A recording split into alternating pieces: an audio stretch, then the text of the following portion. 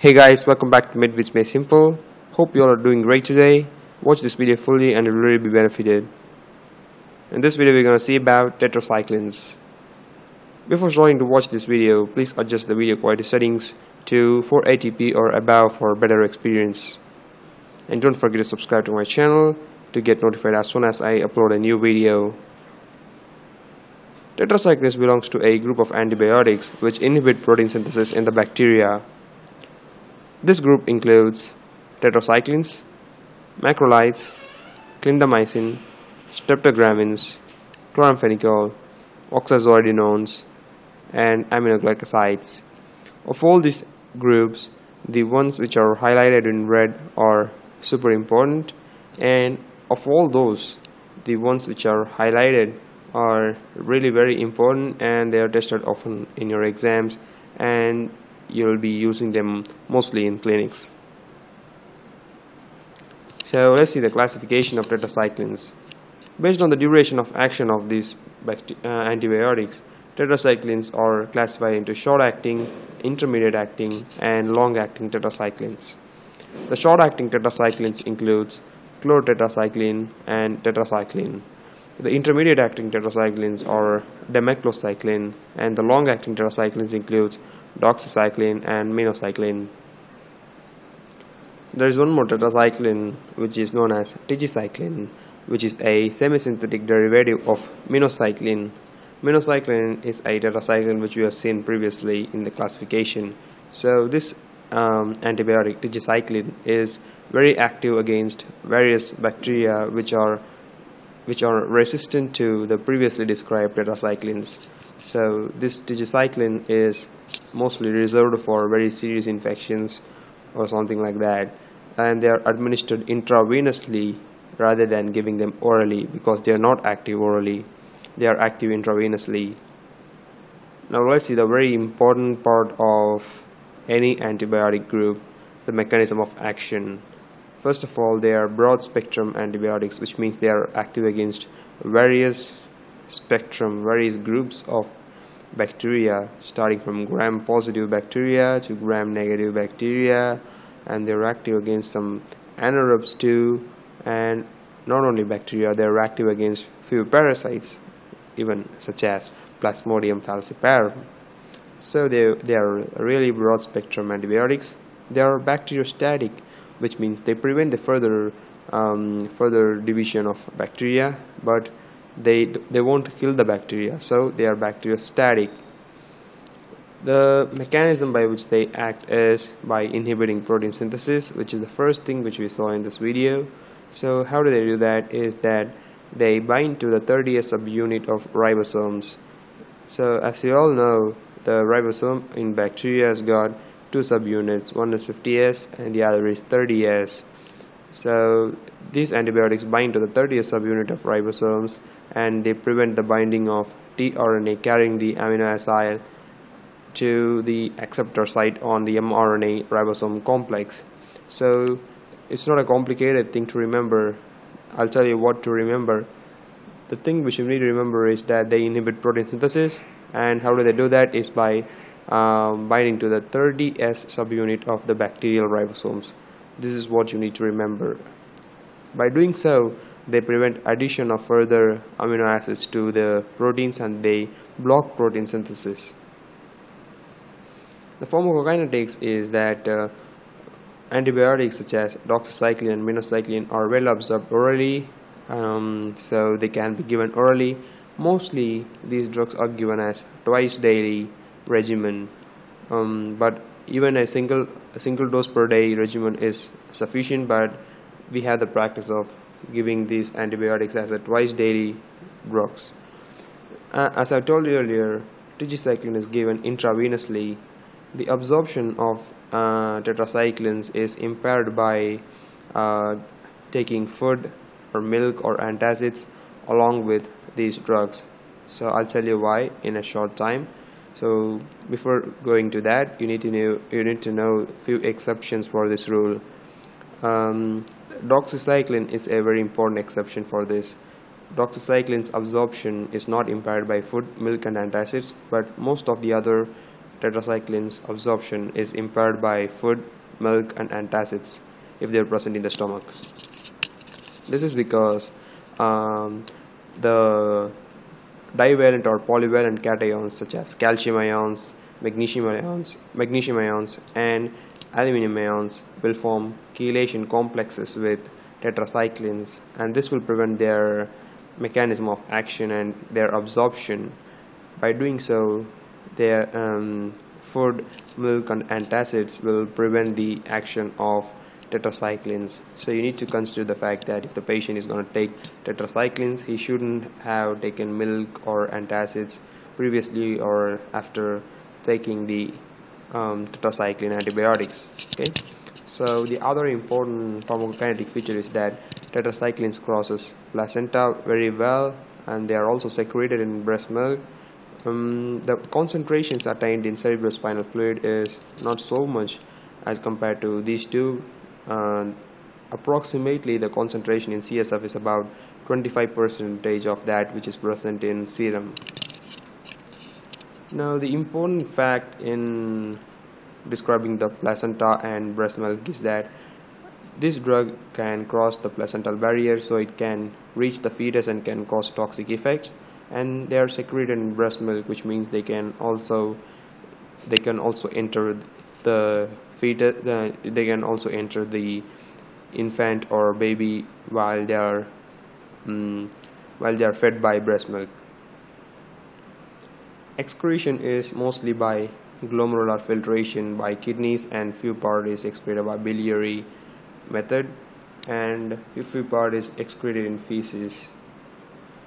Enterohepatic circulation as you all know is the thing which is dealt by the bile and all that so this enterohepatic circulation helps to maintain a sustained blood level of tetracyclines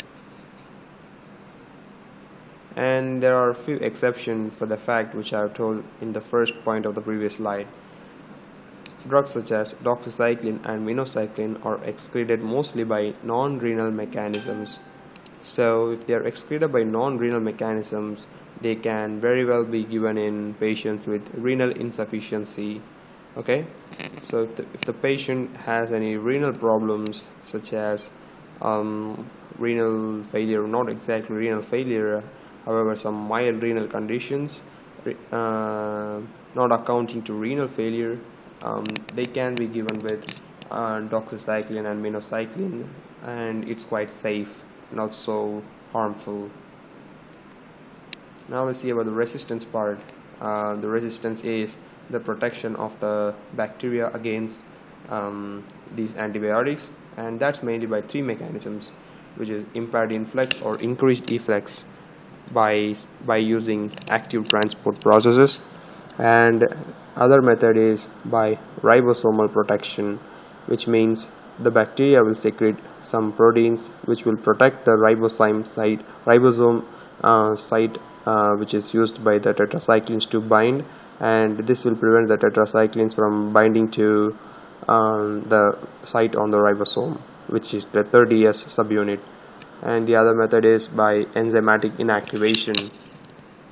The most important of these three methods is the first two which is impaired influx or increased efflux of the antibiotic from the bacteria and the other one is the ribosomal protection the third one is not very significant um, the tigecycline which I have told earlier which is a parenteral antibiotic given intravenously can overcome this resistance in many bacteria such as Staph aureus and many other bacteria.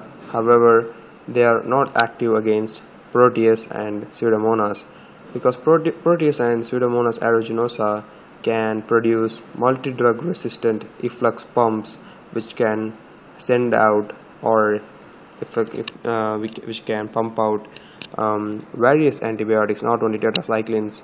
They, they are resistant to various antibiotics using various resistance mechanisms. So treating these two bacteria is a really big deal. Now the, let's see about the uses of tetracyclines um, in rickettsial infections tetracyclines remain the drug of choice. They can be all they can be used in mycoplasma infections chlamydia infections and few spirochetes. Um, in helicobacter pylori eradication program or in helicobacter helicobacter pylori infection treatment you can use tetracyclines. In cholera which is caused by vibrio cholerae tetracyclines do not play much much significant role in treating the infection but they do have a role in increasing the shedding of the, the they decreasing sorry I'm sorry they decrease the shedding of the bacteria from the uh, person. So by doing so they prevent the they prevent the uh, they prevent the spread of the infection so basically this they prevent the shedding of bacteria from the patient. And by doing so they help to prevent the infection from spreading to other people. They can also be used in few sexually transmitted diseases and in the in the prophylaxis of plasmodium falciparum. Uh, doxycycline is um, one of the drug of choice. So there is a, a specific regimen for um, doxycycline in patients who are in people who are traveling to malaria endemic areas. So they need to take doxycycline before and during the stay in that place and uh, after after coming to after coming from that place for a few days they need to take doxycycline and this will prevent them from getting uh, malaria so doxycycline is a very useful drug in the prophylaxis of plasmodium falciparum infection which is malaria. And there are also other uses which are uh, such as acne and other skin skin conditions or skin infections. They can be used in exacerbation of bronchitis which is due to sudden um, exacerbation on pre-existing condition and they, are, they can be used in community acquired pneumonia and other conditions such as Lyme disease and leptospirosis and few other conditions. Now the adverse drug reactions of tetracyclines hypersensitivity um, as we described in as we describe as a adverse drug reaction for many antibiotics we can describe them here too but still hypersensitivity is quite rare with tetracyclines the gastrointestinal adverse effects are common in most of the patients. And that too the one which I have highlighted in red which is nausea is very common. That is it, it will be present in about one third of a patient one third of patients who are taking tetracyclines. Even though nausea is common vomiting and diarrhea are quite rare in taking tetracyclines. And the other way by which they cause adverse drug reactions is they disturb the intestinal microflora which means the microflora which are which are normally present in the human body are killed or disturbed by tetracyclines which will enhance the growth of other harmful bacteria such as pseudomonas or clostridium difficile etc so this can cause symptoms such as oral pruritus uh, which is itching um, vaginal or oral candidiasis and clostridium difficile associated colitis um, and some other similar conditions which are due to suppression of the normal microflora of the intestine. And the other adverse drug reaction of tetracyclines which is very important to remember is that they cause hyperpigmentation of bones and teeth this is because of a pharmacokinetic feature which I have told you earlier. Can you remember that? Yes you're right. Tetracyclines will bind to calcium ions. So as you all know calcium is present in excess in bones and teeth. So the tetracyclines will bind to bones and teeth and this will lead to inhibition of the growth of bones or they can affect the growth of bones and they can bind to the teeth and they can cause hyperpigmentation of the teeth. So tetracyclines cannot be used um, so comfortably in pregnant women so the fetus will be affected and they can't be used in breastfeeding women also because I've told you earlier that they can be secreted in breast milk too and they should not be used in children whose dentition is not complete yet because when their new teeth is growing uh, that may get pigmented and that will cause difficulties.